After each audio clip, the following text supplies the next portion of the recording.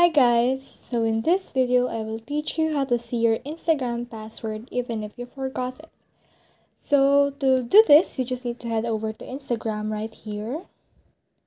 Click on your profile icon here in the bottom. And once you're there, you just need to click the three lines here. And then click settings right here. Once you're there, you just need to head over to your security button here click on that. And you know that if you don't know your password and you click this password here it will not be it will not give you your current password. So it's a lot of guessing and guessing until you change your password right? So to avoid that you just need to, to head over to the to this save login information. Click on that. And make sure to toggle both of these options here toggle toggle.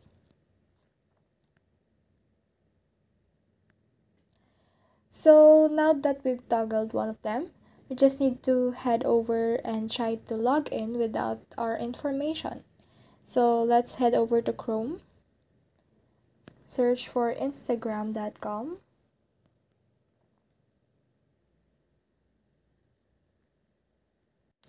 Go to Chrome, search for Instagram.com. And as you can see here, there's already a saved login info. If this is not the account that you have, you just need to click on switch account and then as input here your email address.